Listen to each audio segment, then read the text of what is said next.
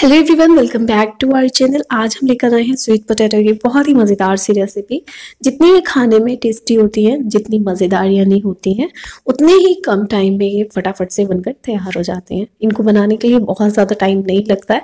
इस तरह से एक बार बनाइए, खाइए, वीडियो पसंद आ जाए, इसको लाइक एंड कमेंट कर दिएगा। चैनल पर अगर आप नए हैं तो आपसे मेरी रिक्वेस्ट है प्लीज़ चैनल को ज़रूर सब्सक्राइब कर लीजिए। तो यहाँ पर हमने शकरकंदी ली है, आप अपने हिसाब से जितनी भी ले सकते हो। उसके बाद इसको हमें अच्छे से धुल लेना है, छील लेना है और आप अपनी पसंद से कोई भी शेप इसको दे सकते हो। कैसे भी आप इसको काट सकते हो, मैंने यहाँ इस तरह से काटा है।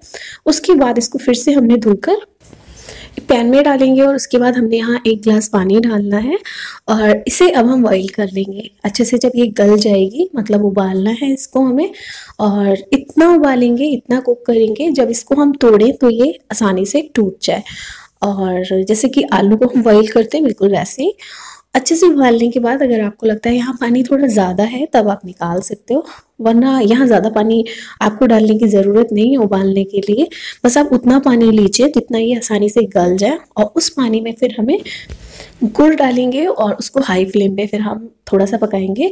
इससे क्या होता है, पानी बाद में खुश्क हो जाएगा और ये शिकरकंदी हलवा भी नहीं बनती है, क्योंकि गुड़ डालने से ये थोड़ा सा एडपन हो जाता है, यानी टाइट होना शुरू हो जाती है।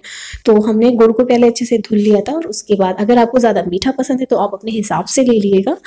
तो यहाँ 500 ग्राम हमने ये शक्करकंदी ली थी, यानी स्वीट पोटैटो और उसी के हिसाब से हमने यहाँ गुड़ लिया है।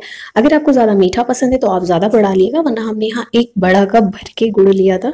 और इसको डालने के बाद ये देखिए पूरा पानी में अच्छे से मेल्ट हो गया, और हाई फ्लेम पे फटाफट थोड़ी देर हमने, जब तक कि गुड़ मेल्ट नहीं हुआ, तब तक हमने पकाया, और उसके बाद लो फ्लेम में पूरा पानी खुश्क करना है। और अब ये देखिए एकदम परफेक्ट बनकर तैयार हो गई है, बहुत ही मज़ेदार सी। एक बार ज़रूर ट्राई करिएगा, जब ये धीमी धीमी आँच पर बनती है ना तो अंदर तक इसका टेस्ट जाता है। बहुत ही मज़े की ये बनकर तैयार हो गई है। उम्मीद है वीडियो पसंद आई होगी। प्लीज़ इसको लाइक कर लिएगा। मिलते हैं जल्दी एक और नई वीडियो के साथ। तब तक के लिए अल्लाह हाफिज़।